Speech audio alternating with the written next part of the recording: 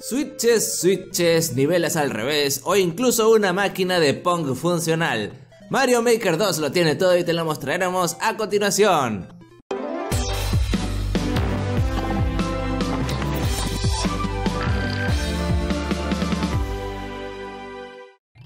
Saludos fans de Nintendo del mundo hispanoparlante, yo soy Rockin X pero me pueden llamar Rockin y esto es Mundo N.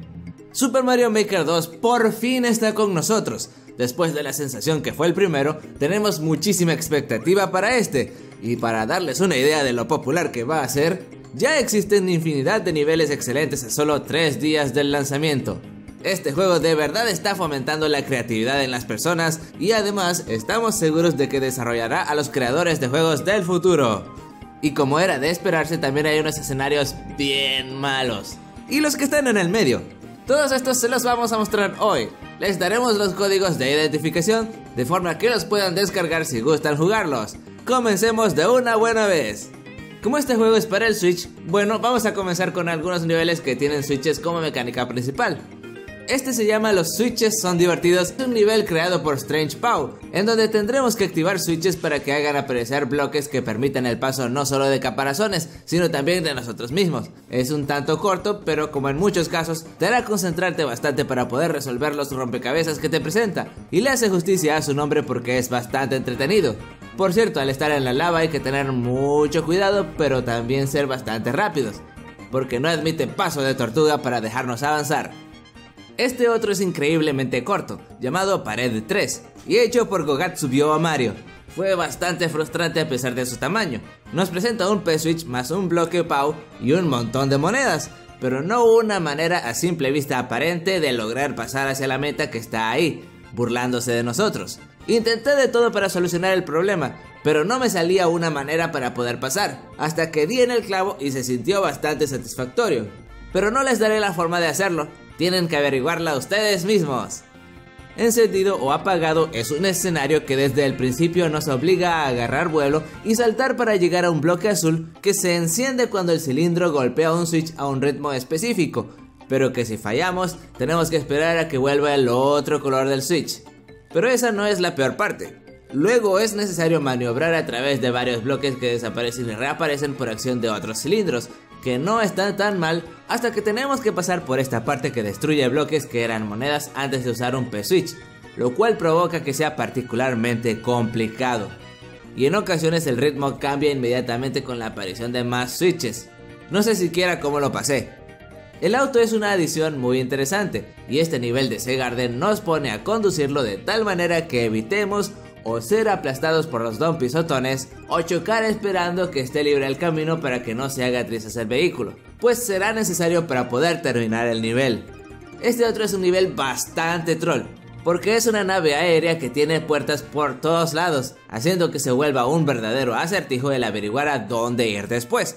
Y para peor tiene una hilera de monedas que conduce a un precipicio al que caeremos si fuimos lo suficientemente inocentes como para seguirla pero si sabemos lo que estamos haciendo, lo podemos terminar en menos de un minuto. Y yo que pasé tanto tiempo yendo de aquí a allá. El paraíso de los interruptores de encendido y apagado también es excelente.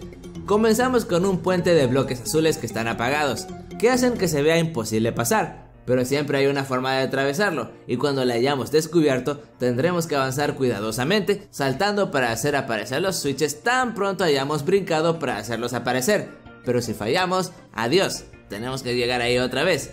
Después de un rato se vuelve sencillo y solo hay que tener cuidado para poder llegar a nuestro destino. Y para finalizar los niveles de interruptores, tenemos este de The Full 508, a quien llamaremos de cariño Iggy, porque nunca puede faltar la usual referencia a cierto anime popular que a todo el mundo le gusta. Bien, Iggy nos pone a estar bien pendientes de lo que está sucediendo en dos lugares al mismo tiempo, porque arriba tenemos unos buses tirados que tenemos que evadir, además de picos que no podemos tocar sin morir en el intento, y debajo un P-Switch que viaja en una plataforma movediza, y tenemos que activar interruptores para abrirle camino y presionarla al final, porque es lo que hace aparecer la meta. El solo hecho de que los buses tirados aparezcan de la nada hace perder múltiples veces, pero no queda duda de que esta etapa está diseñada muy inteligentemente y merece que le demos nuestros corazones entre todos. Hashtag Dad hizo un nivel bastante troll pero divertido, Y no tenemos las cosas fáciles porque primero nos enfrentaremos a un topo monty gigante volador con un punzón en su cabeza, que nos hace que sea imposible caerle encima. Afortunadamente de un cañón sale un caparazón que lo elimina de un solo tiro, haciendo que sea un simple pelele. Pero Bowser Jr. encima de un don pisotón volador no lo es.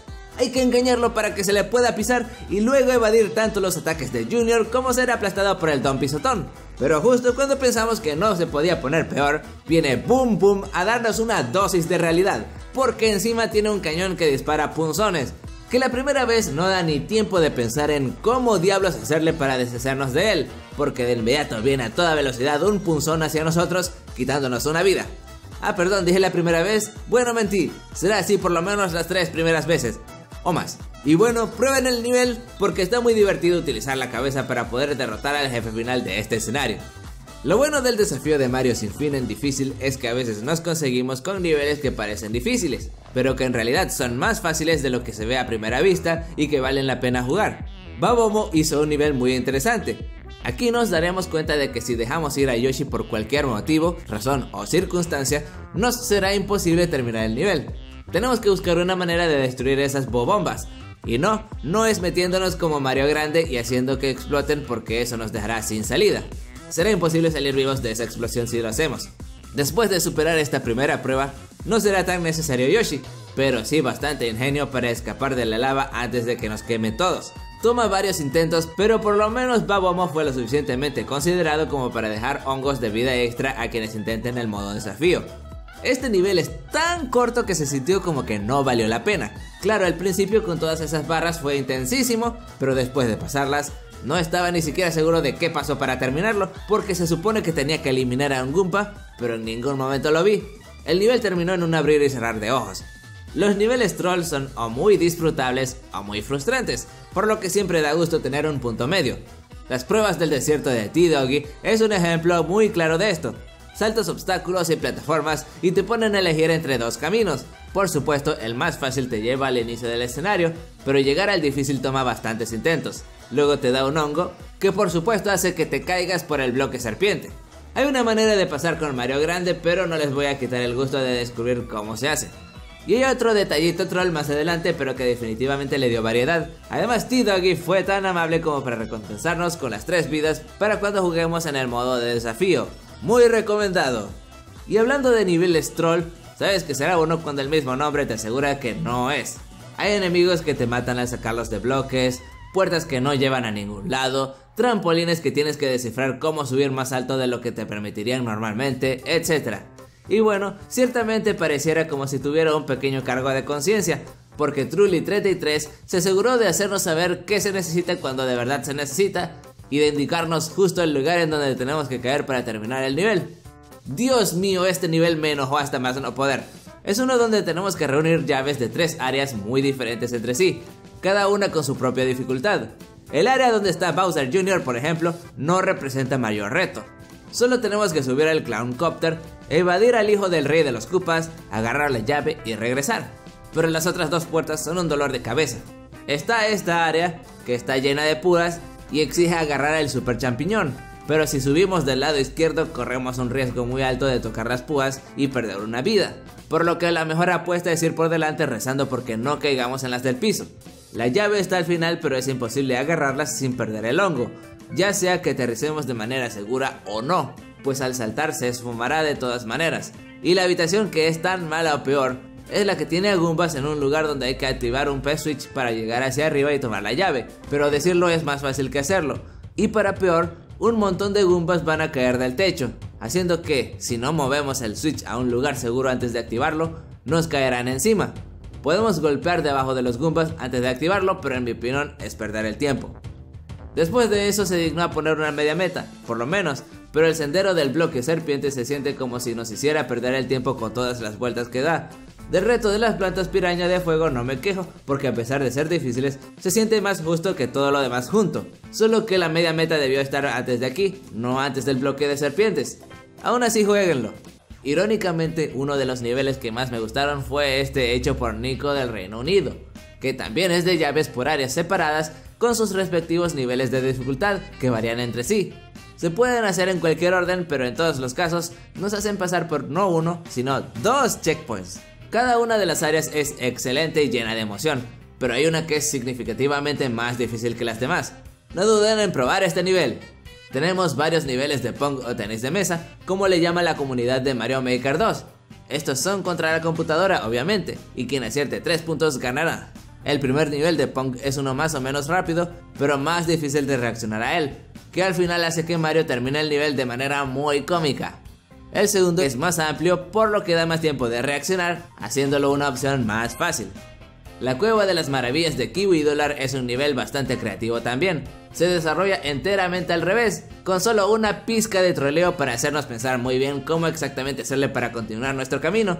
Y al estar al revés lo hace sentir como algo totalmente nuevo, porque como estamos acostumbrados a jugar con gravedad normal, nos saca un poco de onda de buena manera, todo para finalizar de una forma que nos recordó mucho a Metroid.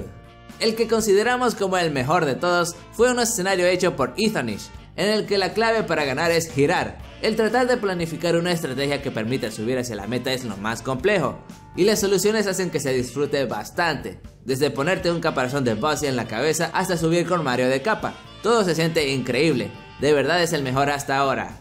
Si quieres más niveles de fans, también tenemos una lista de reproducción con los niveles de Super Smash Bros. Ultimate que debes de jugar.